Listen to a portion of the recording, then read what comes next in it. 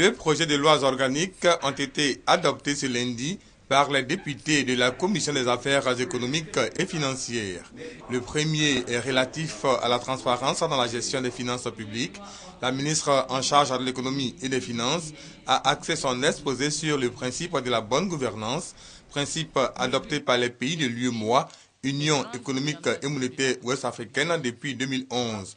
Il s'agit pour la Côte d'Ivoire de transposer ce projet dans le dispositif national. Le projet pose les règles et les principes de la transparence dans la gestion des finances publiques.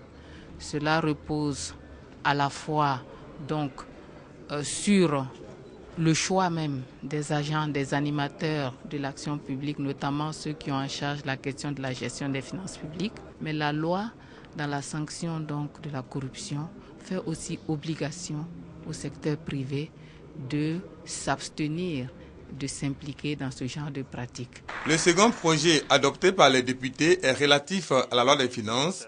Le ministre en charge du budget, en présentant cette loi, a insisté sur les innovations. Avant, nous avions euh, des budgets qui étaient basés sur des moyens. Aujourd'hui, nous passons à des budgets basés sur des résultats.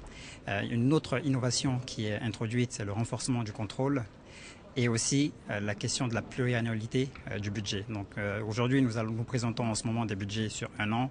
nous allons maintenant présenter des budgets pluriannuels sur une durée minimum de trois ans. Le deadline donné par l'UEMOA, Union économique et monétaire ouest-africaine, pour l'application de ces deux lois organiques 2017, avec une prorogation de deux ans pour les États retardataires.